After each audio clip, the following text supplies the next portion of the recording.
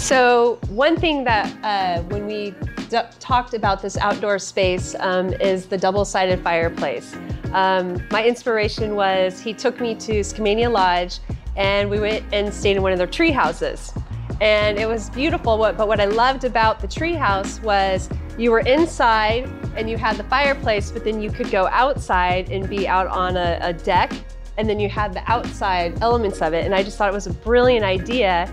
And knowing the space we were gonna have, I'm like, please let's go ahead and do a double-sided fireplace so we get so much more use of our space and we just love it.